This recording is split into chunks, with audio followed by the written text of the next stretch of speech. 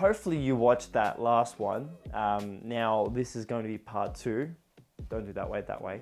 Um, this is another package. I don't want to show the address in case you can stop it and see the addresses of me or the gentleman who sent this. But uh, again, same story. I spend a lot of time on eBay when I'm bored.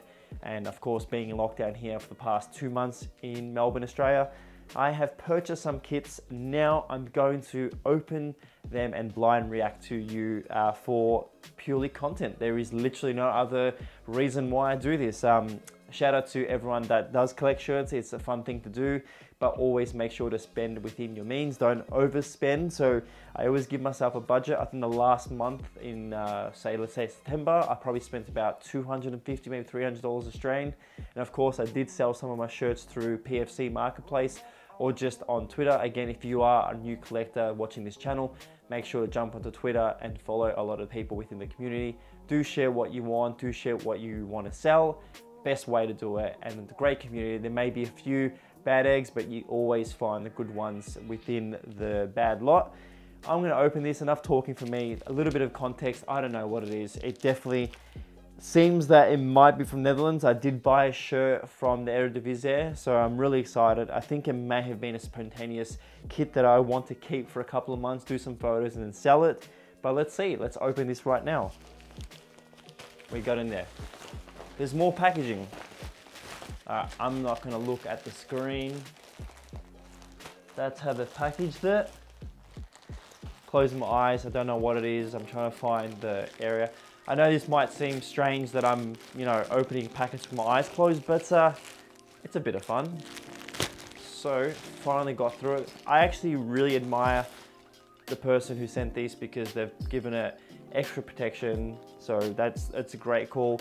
Now the kit feels so soft, really, actually really good condition. The collar line feels perfect. Um, almost feel like this is an ASMR channel now, but um, it does feel, oh, this is, I think this is the kit. Wait, does it have an, yeah, this is it. I reckon this is the Sparta Rotterdam. All right, so that's the front. Hopefully it's beautiful. That's the back. I'm gonna open my eyes in three, two, one. A Sparta Rotterdam, and I got with the Kappa. So there's my context. I uh, fell in love with Kappa. I think uh, a few people on Twitter have been posting about their Kappa kits and everyone's having these kits full of their Kappa sleeves and I got really envious and I thought to myself, let's do a quick search, let's see what I can find. And the first thing that I came across was this beautiful Kappa kit. Now, I don't have any context or any story about it, so I'm gonna quickly check my eBay and let you know what I bought. So today's kit is the 96-97 Sparta Rotterdam kit from that season. Eredivisie team that, you know, look, I, I'm a PSV supporter. I don't like collecting shirts from other clubs in the leagues that I like. But I think when it comes to this kit, I fell in love with the Kappa, sort of detailing it. And I'm currently working on a little bit of a project that hint, hint that I wanted to do some market research I've got a few kits in my collection that I'm definitely going to offsell in the future. This is definitely one of those where I wanted to have it, you know, within my hands and hopefully in the future, you know, sell to a better home. So if you are interested in this kit, please let me know in the comments below because I'd definitely be keen to sell it off in the future. But it's great because one thing I like about, like about this kit is that it features the Kappa logo twice within the center and on the side. So that's a, a great little bit of detail. And there is a few little pulls here and there, but of course this kit here is from the 96 year, so it is and has been around a very long time. Whoever the seller was, I don't know who you are personally, but if you do watch this video, because I definitely will message you saying thank you so much for the product. You washed it, it smells great. The last episode, the kit smelled really bad, but this one is perfect. Everything is in great condition.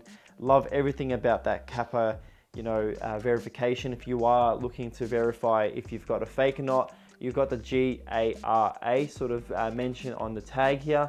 If you are to look closer and there's a few little dots and the placement of the R is really a great indicator of your Kappa product being fake or not.